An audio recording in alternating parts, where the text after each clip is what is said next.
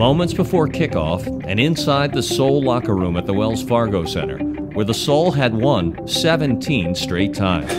We don't have to do anything special. I don't need one hero. I need I need 21 warriors to go war. Dang right. Okay? Remember one thing. We don't lose at home. Hell no. We're undefeated for a reason. The Jacksonville Sharks had other ideas. Well, we changed up from what we did all year. Uh, we know Coach Gazelle is a great offensive coordinator and head coach, so we didn't want to show him exactly everything we've done all year. The Shark defenders would challenge the Soul receivers at the line of scrimmage and disrupt their routes and the timing of the league likely MVP, quarterback Dan Raudabaugh. Anytime you get right by any open shots at a receiver, he's going to hit him. I mean, he's one of the most accurate quarterbacks, one of the most efficient quarterbacks in the league, and we have much respect for him.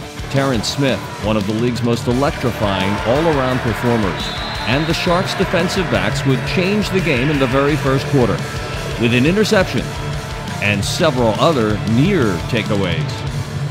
You might have picked four balls off in Oh, that first God, half alone. man. I know. I just have to keep going, man. I, I thank God for where I'm at. Uh, I- you know, I'm very blessed to be here. I'm very blessed to, to play for a great organization like Jacksonville. Raudabaugh would gather himself and appeared ready to draw even with Sean Kauleinamoku heading for the end zone.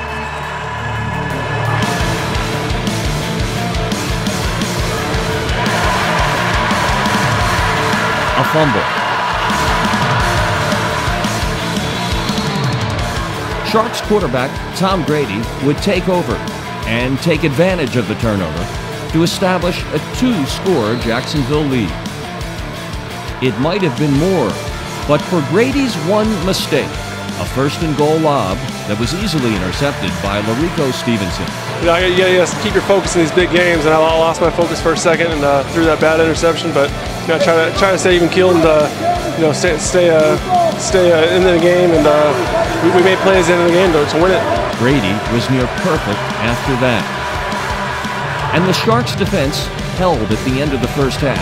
The Soul went into their locker room down by two scores. And you can't have any more bad things happen to you than just just happened, okay? And we're down 14 about to get the ball.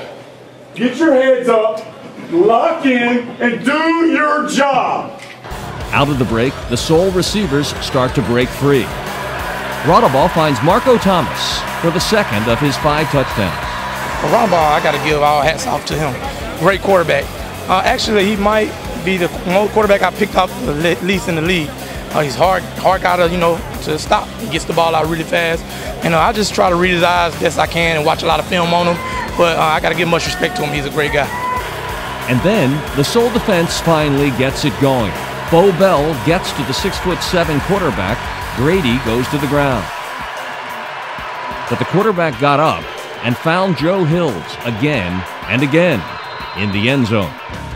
I, I am the, you know, probably one of the best receivers in the red zone, you know, that the league has to offer. So I mean, that's where I, that's what that's where I thrive at, um, and that's what I do. Raudabaugh was on track now and began trading touchdowns with Grady like two heavyweight punchers. This one thanks to a great diving catch by Ryan McDaniel in the fourth quarter. He got in the rhythm, and you know, good players gonna get in the rhythm, and Dan did a great job. The tall, strong Joe Hills was able to maneuver his body inside the tight spaces of the Arena League end zones. This time, another of his five touchdowns, providing a seemingly comfortable pad of 12 points with little more than a minute to go. Joe, Joe's a big target, and he's uh, you know once you get in the red zone, he's a little easier to easier, easier to find, and uh, you know he's making plays down there, and Tiger was making plays out of the field, and that's kind of how we've been all year. Dan Raudabaugh kept fighting, and he found Marco Thomas, who snaked into the end zone to pull the Soul within five, under a minute to go. Inside the Soul 20, with under a minute left, it was first down for Jacksonville. But the Sharks go to the air curiously.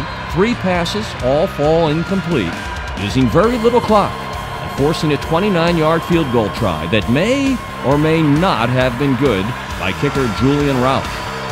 After much debate and review, it was ruled wide right, and the chance for a miracle soul win at the wire was wide open.